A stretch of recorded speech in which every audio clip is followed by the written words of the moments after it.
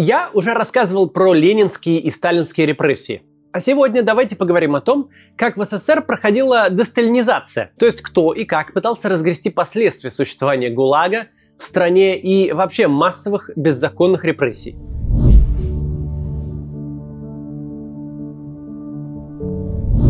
Иосиф Сталин умер в 1953 году.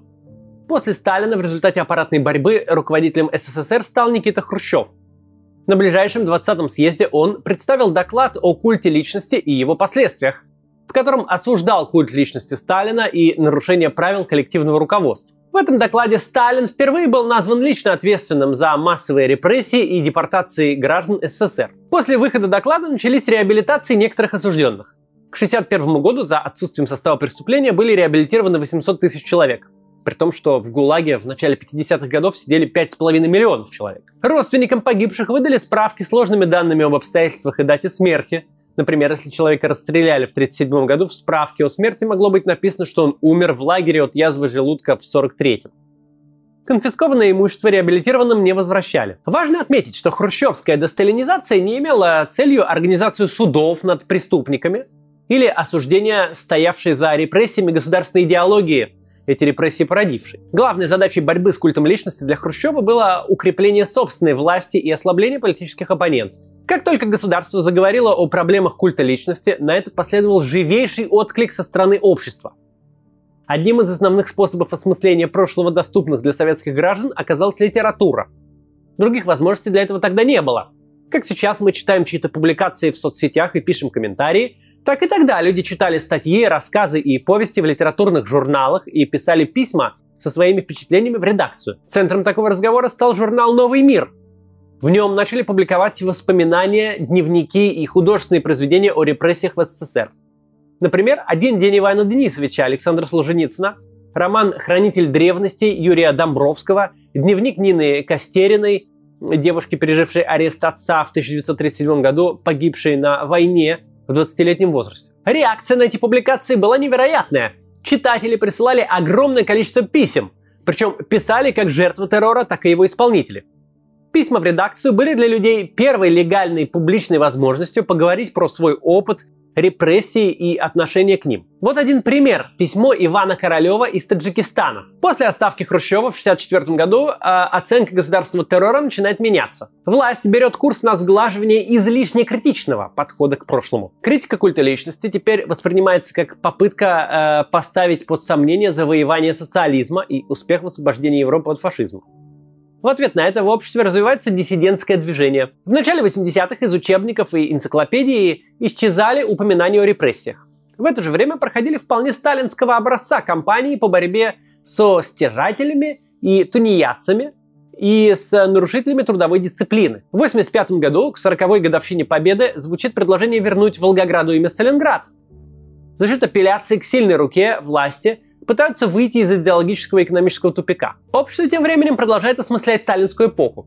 Созданный в начале перестройки фильм Тенгиза Абуладзе «Покаяние», рас- рассказывающий притчу о том, как некого Варлама, организатора репрессий, пытаются похоронить, а его труп каждый день вновь оказывается в доме, становится одним из главных символических высказываний этого времени. В 1986 году, после нескольких лет запрета, фильм допустили до закрытых просмотров, а на следующий год он уже вышел в открытый прокат и получил гран-при в Каннах, а еще через год Ленинскую премию. С приходом к власти Горбачева э, наконец стало возможно говорить о репрессиях открыто, ну или почти открыто. Стали печататься воспоминания о ГУЛАГе, написанные еще в 60-е годы, но до этого момента запрещенные в СССР. Так были опубликованы «Архипелаг ГУЛАГ» Александра Солженицына, «Колымские рассказы» Варлама Шаламова, Крутой маршрут Евгений Гинзбург. В обществе начинается дискуссия о том, что необходимо создать мемориал жертвам репрессий. В журналах публикуют статьи и открытые письма на эту тему. В июне 1988 года журнал «Огонек» и группа активистов объявили конкурс на создание такого памятника. Людям предложили присылать свои работы. Обсуждали их в рамках открытого мероприятия, которое назвали «Неделя совести». Помимо разбора проектов памятника, там были выставки, э, вечера воспоминаний, на которых бывшие заключенные находили друг друга – Люди составляли и подписывали совместные обращения. Стало ясно, что нужен не только памятник жертвам, но и живое сообщество людей для поиска и обнародования данных о репрессированных для сохранения памяти о них. Так возникло общество «Мемориал». 30 октября памятник был открыт. Его установили на Лубянской площади, прямо напротив здания КГБ. Это валун, привезенный с Соловков, где в 20-30-е годы находился Соловецкий лагерь особого назначения.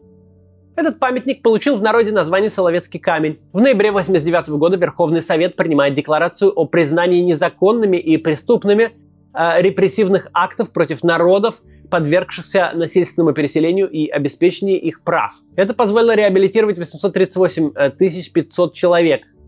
В 1991 году, сразу после распада СССР, принято закон о реабилитации репрессированных народов и о э, реабилитации жертв политических репрессий. На их основании было реабилитировано еще 650 тысяч человек. Интересно отметить, что последний закон является единственным законодательным актом, в котором напрямую осуждены преступления советского режима. Эти законы – важный аргумент в спорах с почитателями Сталина. Государство официально признало, что оно беззаконно подвергло репрессиям как минимум 3,5 миллиона человек. То есть аргумент «сажали» значит было за что отпадает, все они реабилитированы за отсутствием состава преступления. В 90-е годы была найдена часть мест захоронения жертв террора. Медная, Тверь, Коммунарка, Бутовский полигон в Москве, Сандармох, Красный Бор э, в Карелии. Тогда же были установлены памятники жертвам репрессий в Ростове-на-Дону, Санкт-Петербурге, Перми и Магадане, знаменитая маска скорби. Также было открыто два мемориала жертвам депортации в Грозном и Назране. Когда президент Борис Ельцин собирался баллотироваться на второй срок в 1996 году, главным его конкурентом был кандидат от КПРФ Геннадий Зюганов – в связи с этим критика Октябрьской революции со стороны официальной власти резко усилилась. В послании Федеральному собранию Ельцин сказал так. Важно до конца осознать, что трагические последствия коммунистического эксперимента были закономерны, и массовые репрессии, и жесткий политический монополизм, и классовые чистки, и тотальное идеологическое прореживание э, культуры и э, отгороженность от внешнего мира и поддержание атмосферы враждебности и страха – все это родовые признаки тоталитарного режима. И все это означает, что путь назад – это путь в исторический тупик к неизбежной гибели России. Но после первого тура выборов, на которых Ельцин обошел кандидата от КПРФ всего лишь на 3%, он начал искать способы смягчения конфронтации. В том же 96 году президент издает указ, э, назначающий 7 ноября э, днем согласия и примирения – а 97 год, 80-летие Октябрьской революции, годом согласия и примирения. После избрания президентом Путина отношение к советскому прошлому начало постепенно меняться.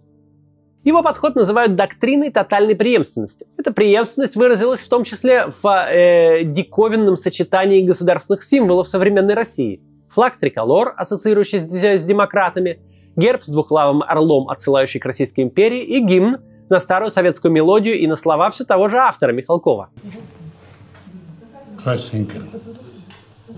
Вроде бы неплохо, мы пытаемся помирить разные ценности. Но проблема в том, что при таком подходе мы умалчиваем об ответственности. Мол, давайте забудем плохое, сотрем из памяти преступления, будем говорить только о том, чем можно гордиться. Таким образом, возникает история России как великой державы, объединяющей э, события дореволюционной России, советской истории и постсоветского периода в одно сплошное героическое прошлое. На отношение к репрессиям в постсоветской России серьезно повлиял Поместный собор Русской Православной Церкви 2000 года. Во время этого собора было канонизировано более тысячи новомучеников, людей, убитых за э, исповедование православной веры в советские годы. Гонения на церковь были частью политики СССР. Верующих арестовывали, ссылали, расстреливали за их убеждения. А уж сколько было взорванных храмов или перепрофилировано под склад картошки, сложно сосчитать. Православная церковь тоже вовлекает людей в сохранение памяти о репрессиях и занимается исследованием архивов. Например, Екатеринбургская епархия ежегодно проводит царские дни в годовщину убийства царской семьи. В этих мероприятиях каждый год участвует до 100 тысяч человек. Однако почитание новомучеников тоже не поставило вопроса об ответственности за произошедшее. 30 октября 2007 года, в день памяти жертв политических репрессий, президент Путин совместно с патриархом Алексием II посетили подмосковный мемориальный комплекс, созданный на базе расстрельного полигона в Бутово. Этот визит запомнился тем, что именно в тот день Путин произнес речь, наиболее внятно осуждающую советскую идеологию и ее последствия. Такие трагедии повторялись в истории человечества не однажды. И всегда это случалось тогда, когда привлекательные на первый взгляд, но пустые на поверку идеалы ставились выше основной ценности, ценности человеческой жизни, выше прав и свобод человека. Для нашей страны это особая трагедия, потому что масштаб колоссальный. Ведь уничтожены были, сосланы в лагеря, расстреляны, замучены сотни тысяч, миллионы человек. Причем это, как правило, люди со своим собственным мнением. Это люди, которые не боялись его высказывать. Это наиболее эффективный дух. Это цвет нации. И, конечно, мы долгие годы до сих пор ощущаем эту трагедию на себе. Во второй половине 2000-х часть стран Восточной Европы фактически уравняли советскую оккупацию своих территорий с нацистской. В ответ на это в России стала формироваться оборонительная историческая политика. Например, тогда стали появляться учебники истории, которые делали акцент на положительных моментах сталинской эпохи. Так сказать, пытались уравновесить перегибы успехами. В 2009 году была создана президентская комиссия по противодействию попыткам фальсификации истории в ущерб интересам России. Однако учебники, воспевавшие эффективный менеджмент Сталина и комиссия, основной задачей которой было вмешательство в научные исследования, получили настолько резкий и единодушный отпор в обществе, и особенно среди ученых, что эти начинания пришлось свернуть. Комиссия проработала всего три года. В 2011 году рабочая группа Совета при президенте России по развитию гражданского общества и правам человека совместно с обществом «Мемориал» предложила проект программы об увековечивании памяти жертв тоталитарного режима и национальном примирении. Эта программа предполагала государственную финансовую поддержку академических исследований на эту тему. Авторы хотели, чтобы, наконец, преступления режима получили юридическую оценку, а государственным чиновникам запретили отрицать или оправдывать преступления СССР. Программу обсуждали несколько лет, но так и не приняли. Вместо нее в августе 2015 года утвердили концепцию государственной политики по увековечиванию памяти жертв политических репрессий, в отличие от предлагавшейся ранее программы, она не имеет госфинансирования. Примечательно, что слова о тоталитарном режиме и национальном примирении из названия исчезли. 4 ноября 2015 года, в День народного единства, в Манеже епископ Тихон э, Шевкунов открыл выставку «Моя история 20 век». 1445 год от Великих потрясений к Великой Победе. Эта выставка была третьим проектом в серии «Моя история», организованной по инициативе Патриаршего совета по культуре и при поддержке правительственного фонда Москвы и фонда гуманитарных проектов. Ей предшествовали выставки Романовы и Рюриковичи. Выставка рассказывает о том, что в истории Советского Союза были и трагедии, гражданская война и сталинские репрессии, и успехи, индустриализация, победа в э, Великой Отечественной войне. Авторы экспозиции подчеркнуто отказываются от этических оценок прошлого – в этой парадигме ГУЛАГ оказывается просто одним из череды испытаний нашей истории. После презентации в Москве выставка на постоянной основе открыта в 25 регионах России. 30 октября 2017 года, в День памяти жертв советских политических репрессий, Путин открыл на проспекте Сахарова в Москве памятник «Стена скорби». На церемонии открытия были приглашены правозащитники, руководство Государственного музея истории ГУЛАГа и вдова Александра Солженицына, Наталья. Накануне, выступая на заседании Совета по правам человека, Путин анонсировал предстоящее открытие стены скорби как символ преодоления этого раскола и взаимного прощения. Подведение черты под трудным прошлым, прощение и принятие действительно важно и помогает переосмыслить тяжелые события истории. Это подтверждает опыт других стран. Но прежде чем подводить черту, надо взять на себя ответственность за эти преступления – Иначе все это не более чем отгораживание от проблем. В данном случае разговор об ответственности опять не случился. Стоит отметить, что на момент открытия стены скорби общество «Мемориал» Организация, занимающаяся изучением истории советского государственного террора, была объявлена иностранным агентом. А историк Юрий Дмитриев, обнаруживший одно из крупнейших захоронений советского террора, Сандармох в Карелии, уже год как ожидал в СИЗО приговора по политически инспирированному уголовному делу. В общем, государство у нас пока не спешит говорить о репрессиях и сохранять память о них. Но есть очень значительные и важные гражданские инициативы. С 2007 года у Соловецкого камня начала проходить ежегодная акция возвращения имен. Ее организует общество «Мемориал». Весь день 29 октября люди по очереди подходят к микрофону и читают вслух имена погибших в ГУЛАГе. Дело в том, что одной из идей борьбы с врагами народа в СССР было уничтожение памяти о них. В лагере имя человека заменялось на номер, на воле родственники были вынуждены скрывать свое родство с осужденными, так как иначе их тоже могли постигнуть репрессии. Уничтожали документы, лицо человека вырезали с семейных фотографий и так далее. В первые годы акция возвращения имен собирала по несколько сотен человек. В 2017 в ней приняли участие уже более 5000 человек в 32 городах. С 2010 года члены э, православного Преображенского братства, вдохновленные акцией возвращения имен, организуют 30 октября акцию «Молитва памяти», которая состоит из чтения имен репрессированных и покаянной молитвы за беззаконные репрессии. Эта акция тоже проводится во многих городах России. В 2014 году стартовал проект «Последний адрес» на домах, где жили репрессированные в советское время люди. Стали устанавливать таблички с указанием имени человека и даты, когда его забрали из этого дома. Не политический формат этого проекта и его этический посыл расположили к нему большое количество людей. К началу 2020 года в разных городах России были установлены тысяча табличек последнего адреса. На моем доме две таблички таких установлены. Для того, чтобы установить такую табличку, надо провести собрание жильцов дома и получить их согласие на установку. Таким образом, проект провоцирует общественное обсуждение темы и личную инициативу. В последние годы э, тема памяти о советском терроре становится все заметнее. Она начала выплескиваться за пределы узкого круга людей, специально ею интересующихся. Упоминание возвращения имен и последнего адреса все чаще можно встретить в российских СМИ, а публикации, касающиеся ГУЛАГа, вызывают все более широкий интерес. Например, одним из самых популярных материалов газеты «Ведомости» за весну лета 2017 года стала статья Олега Хлевнюка о Большом терроре.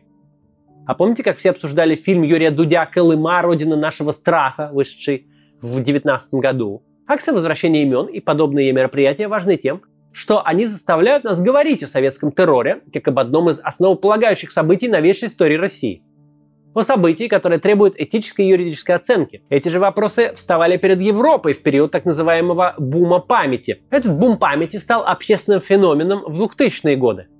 Бум памяти привел к новому подходу в осмыслении истории. Не на основании общих побед и общей гордости, а на основании общих поражений и общей боли. Главной ценностью, на которой держится этот новый порядок вещей, становится жизнь человека, а не величие государства. Почему мы до сих пор не можем освободиться от сталинского наследия? Почему никак не получается избавиться от сталинских практик в государственном управлении? Почему россияне до сих пор думают о нашей стране и ее месте в мире так, как думали их родители и дедушки с бабушками? В книге «Неудобное прошлое» исследователь мемориальной культуры Николай Эпле э, приводит одну хорошую иллюстрацию на эту тему. Вот эта история. Колпашевский яр, обрывистый берег реки Обь в 270 километрах на северо-запад от Томска. В годы Большого террора в расположенной в Колпашево тюрьме НКВД были расстреляны и зарыты недалеко от берега около 4000 человек. Местные жители не знали или не хотели знать об этом. В ночь на 1 мая 1979 года, накануне первомайской демонстрации, Обь в очередной раз обрушила берег Колпашевского Яра и вскрыла место массового захоронения. Участники демонстрации видели плывущие по реке трупы, а дети играли найденными костями. Власти приняли решение подогнать к берегу мощные буксиры и струей от их винтов размыть берег, чтобы уничтожить захоронение.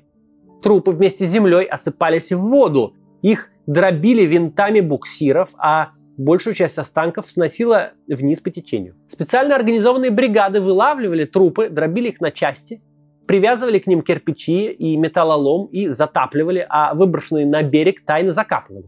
Из этого эпизода следует, по мнению Эпле, два важных вывода. Во-первых, это только кажется, что память о преступлениях можно скрыть и спрятать от глаз, пишет он в книге. Рано или поздно река размоет берег и понесет непогребенные трупы на виду у всех.